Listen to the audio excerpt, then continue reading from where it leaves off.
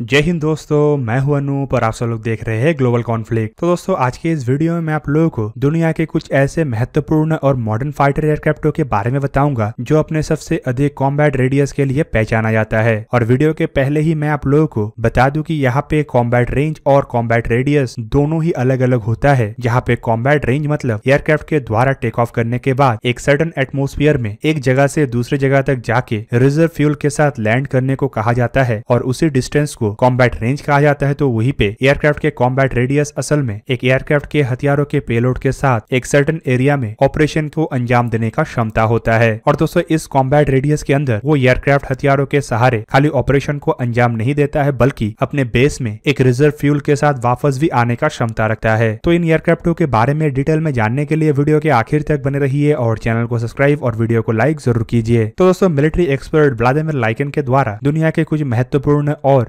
Modern combat एयरक्राफ्टों को उसके combat radius के कंपेरिजन में सामने लाया गया है, जबकि इनके द्वारा जिन एयरक्राफ्टों का कॉम्बैट रेडियस का विवरण दिया गया है, वो रेंज असल में कोई भी एक्सटर्नल ड्रॉप टैंक या एरियल रिफ्यूलिंग के बिना ही है। मतलब इन एयरक्राफ्टों का रेंज एयरक्राफ्ट के टोटली इंटरनल फ्यूल कैपेसिटी के बेस पे है। दोस्तों प्रीवियस डेटा के मुताबिक जो रशिया के Sukhoi SU fifty seven fifth generation के फाइटर एयरक्राफ्ट है, इसके सबसोनिक रफ्तार में कॉम्बैट रेडियस करीबन 2064 किलोमीटर है, जबकि सुपरसोनिक रफ्तार में यही कॉम्बैट रेडियस करीब करीब 1050 किलोमीटर के आसपास है। जबकि दूसरी तरफ़ यही चीज़ को अगर अमेरिकी फिफ्थ जनरेशन फाइटर एयरक्राफ्ट मतलब एफ़ थर्टी फाइव और एफ़ ट्वेंटी टू के साथ देखा जाए तो आपको पता चलेगा की अमेरिकी निर्मित एफ़ थर्टी फाइव जैसे फाइटर एयरक्राफ्ट के सुपरसोनिक रफ्तार पे कॉम्बैट रेडियस 1080 किलोमीटर है, जबकि सबसोनिक रफ्तार में यही कॉम्बैट रेडियस 760 किलोमीटर है और एफ़ ट्वेंटी के मामले में सुपरसोनिक रफ्तार में कॉम्बैट रेडियस 1250 किलोमीटर और सबसोनिक रफ्तार में यही कॉम्बैट रेडियस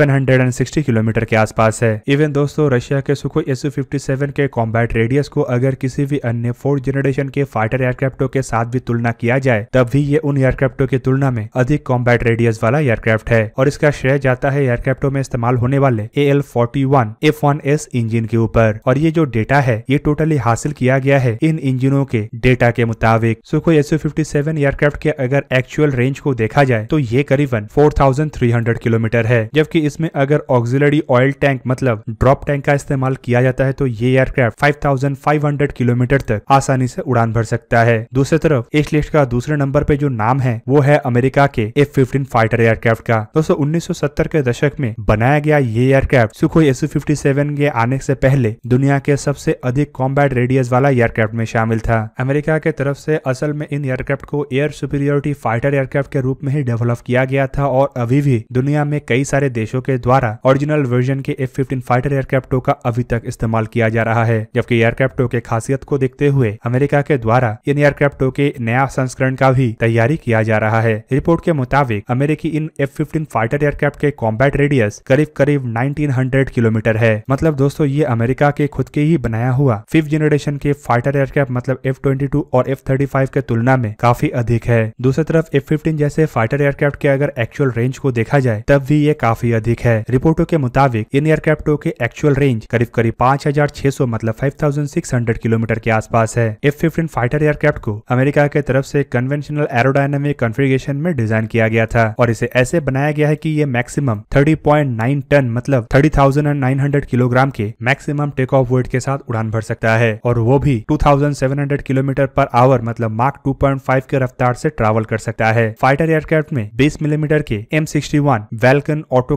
cannon का इस्तेमाल किया गया है जो 940 राउंड एमुनेशन कैरी कर सकता है जबकि इसके अलावा इसमें 11 हार्ट पॉइंट्स है जिसके सहारे ये 7.3 टन मतलब 7,300 किलोग्राम के हथियार या फ्यूल को कैरी कर सकता है। जबकि अगर देखा जाए तो एफ़ फिफ्टीन फाइटर एयरक्राफ्ट फ़िलहाल कई दशक पुराना हो चुका है और इन एयरक्राफ्टों में नए जमाने के फाइटर एयरक्राफ्टों के जैसे आधुनिक एवियोनिक्स नहीं है लेकिन फिर भी इन एयरक्राफ्टों को अभी तक दुनिया के one of the best fighter aircraft के रूप में देखा जाता है। दोस्तों इसी वजह से ही एफ़ फिफ्टीन या फिर एफ़ फिफ्टीन ईगल टू का निर्माण किया जा रहा है और अमेरिका के द्वारा 2020 के मध्य में यह भी घोषणा किया गया कि एयरक्राफ्टों के खासियतों को देखते हुए अमेरिकी एयरफोर्स के पुराने एफ़ फिफ्टीन को रिप्लेस करने के लिए 144 नया एफ़ फिफ्टीन एयरक्राफ्टों को भी परचेज किया जाएगा। दोस्तों, लिस्ट के तीसरे नंबर पे नाम है रशिया के 4.5 जनरेशन के फाइटर एयरक्राफ्ट मतलब सुखोई एसु थर्टी एस जो की एक मल्टी रोल फाइटर एयरक्राफ्ट है और इसे रशिया के तरफ़ से कुछ ही साल पहले ही अपने बेड़े में ऑपरेशनली शामिल किया गया है। दोस्तों, सुखोई थर्टी फाइटर एयरक्राफ्ट के कॉम्बैट रेडियस करीब करीब 1500 किलोमीटर है, जबकि इसके एक्चुअल रेंज करीबन 3600 किलोमीटर के आसपास है। इन एयरक्राफ्टों को रशिया की तरफ़ से एक सुपर मेनेवरेबल फाइटर एयरक्राफ्ट के रूप में डिज़ाइन और डेवलप किया गया है और इसका पूरा पूरी श्रेय जाता है एयरक्राफ्टों में इस्तेमाल होने वाले थ्रस्ट वैक्टरिंग कंट्रोल वाले इंजनों के ऊपर। दोस्तों, रिपोर्टों के मुताबिक इन एयरक्राफ्टों में भी ए एल सीरीज़ के ही इंजनों का इस्तेमाल किया गया है, लेकिन सुखोई एसू थर्टी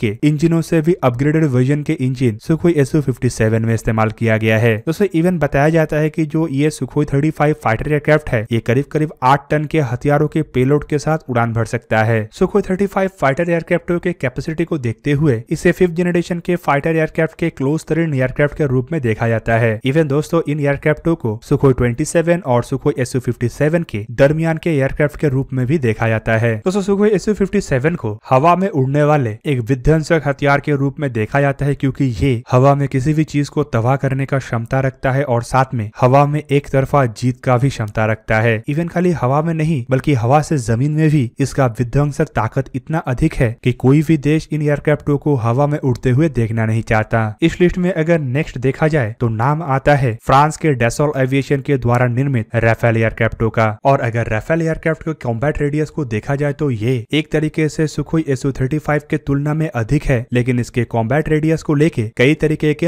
मतभेद भी है। दोस्तों रिपोर्टों के मुताबिक, राफेल एयरक्राफ्ट के एक्चुअल कॉम्बैट रेडियस करीबन 1700 किलोमीटर मतलब 920 नॉटिकल माइल्स के आसपास है। जबकि दूसरी तरफ़ कई कई जगहों में ये भी दावा किया जाता है कि दो स्कैल्प मिसाइल और दो एयर टू एयर मिसाइल के साथ राफेल एयरक्राफ्ट का जो कॉम्बैट रेडियस है, वो करीबन 1850 किलोमीटर से कई अधिक है, जो कि 1500 किलोमीटर कॉम्बैट रेडियस वाले सुखोई 35 से तो एटलीस्ट आगे है। पर दोस्तों, ये जो रेंज है, ये असल में एडिशनल ड्रॉप टैंक के सहारे ऑपरेट होने वाला रेंज है। बिना ड्रॉप टैंक के इन एयरक्राफ्टों के कॉम्बैट रेडियस के बारे में ज़्यादा कुछ जानकारी पब्लिकली अवेलेबल नहीं है। पर एक बार जब डेसोल एविएशन के द्वारा ब्राजीलियन एयरफोर्स के F X two fighter aircraft में राफेल एयरक्राफ्टों को प्रेजेंट किया गया था, तब ऑफिशियल जानकारी के मुताबिक इन एयरक्राफ्टों के मैक्सिमम मिशन रेडियस के बारे में जानकारी देते हुए कहा गया था कि ये अधिकतम 920 नॉटिकल्स माइल्स मतलब 1700 किलोमीटर तक ऑपरेट हो सकता है। वो भी तीन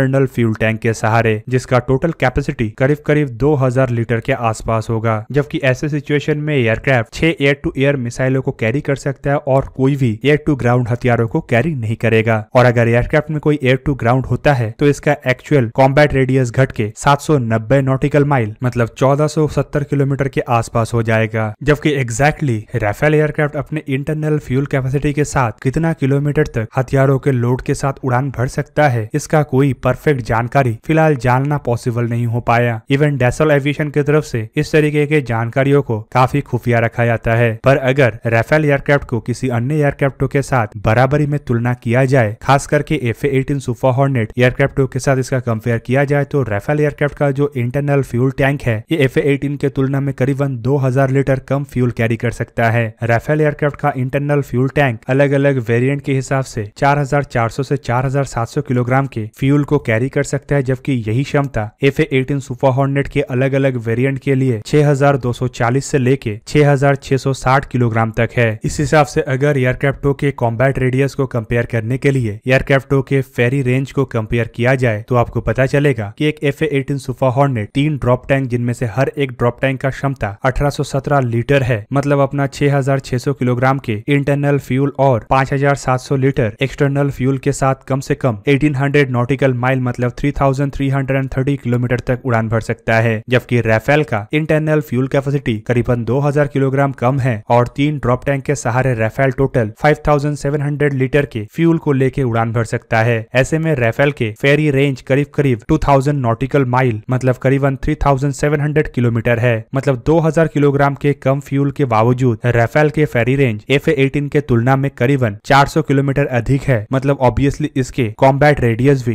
इंटरनल फ्यूल के साथ at least F eighteen Super Hornet aircraft के बराबर या फिर उससे अधिक हो सकता है। कुल मिला के एक्सपर्टों के तरफ़ से आधुनिक जमाने के इन्हीं कुछ गिने चुने फाइटर एयरक्राफ्टों को सबसे अधिक कॉम्बैट रेडियस वाले फाइटर एयरक्राफ्टों के दर्जे में शामिल किया गया है, जिनमें एक तरफ़ देखे तो अमेरिका को बीते कई दशकों तक इन मामलों में एफ़ फिफ्टीन एयरक्राफ्टों के बदौलत बढ़ोतरी हासिल रहा तो वहीं पे रशिया की तरफ़ से कुछ साल पहले सुखोई थर्टी फाइव और पिछले साल ही सुखोई 57 को अपने बेड़े में शामिल करने के बाद रशिया इस मामले में अब अमेरिका से आगे है। तो वही पे भारत को अगर देखा जाए तो राफेल एयरक्राफ्टों को खरीदने के बाद भारत भी इस रेस में अन्य देशों के बराबरी करने का क्षमता हासिल किया है। तो दोस्तों, ये था आज का वीडियो। अगर आपको वीडियो अच्छा लगा तो उसे लाइक कीजिए और मेरे चैनल को सब्सक्राइब कीजिए और साथ में बना हुआ बेल आइकन को भी प्रेस कर दीजिए ताकि आप मेरा वीडियो देख पाए सबसे पहले। जय हिंद।